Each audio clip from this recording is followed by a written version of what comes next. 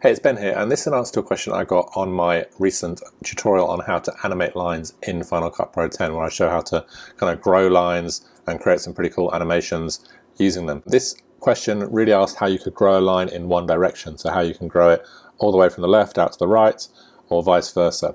Um, and there's a couple of neat little tricks that you can do when you're setting this up. So we're going to jump into our generators at the top left here and scroll down to our generators and our solids and we're looking for the, the custom solid here. Now you can use any of these other ones, we're just going to use the custom because it allows you to select your own custom color.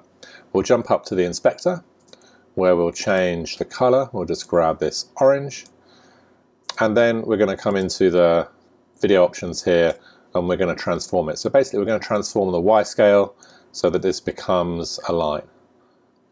Alright, and then the key here is in order to grow it, so at the moment if we scale this line it's going to grow from the middle out.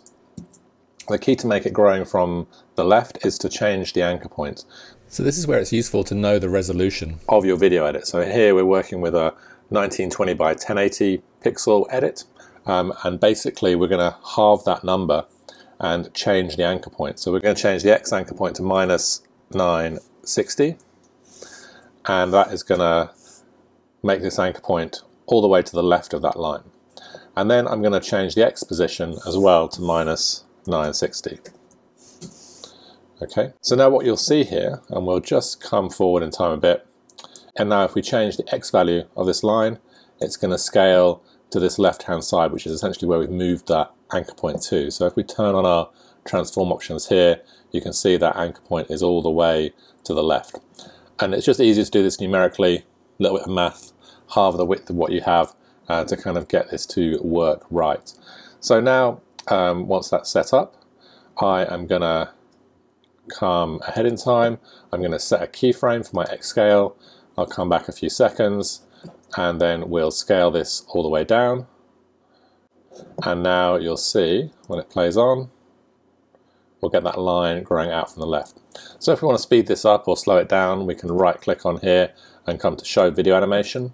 And then if we zoom in a little bit, you can see we can speed this up by moving those close together, or we can slow them down by moving them further apart, these two transform keyframes.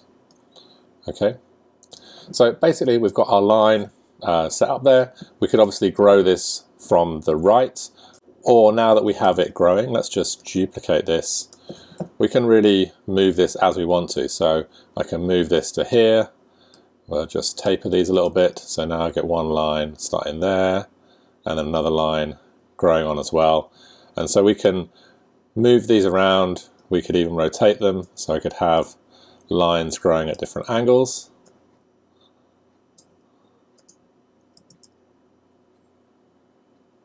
That is how to set up your line so it will grow from one direction and then we just need to position this so that it's actually in the spot we want it to grow from. So we could position that anchor point all the way across to the right and now that line will grow out from the right to the left.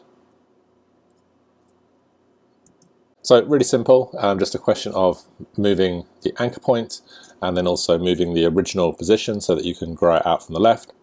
And then you have a line you can animate and position in any way you want to in Final Cut Pro 10. Hope that's useful. If you have any questions about animating on lines, animating on circles, I created a couple of tutorials recently. I'll leave the links in the description below and I look forward to seeing you on the next tutorial.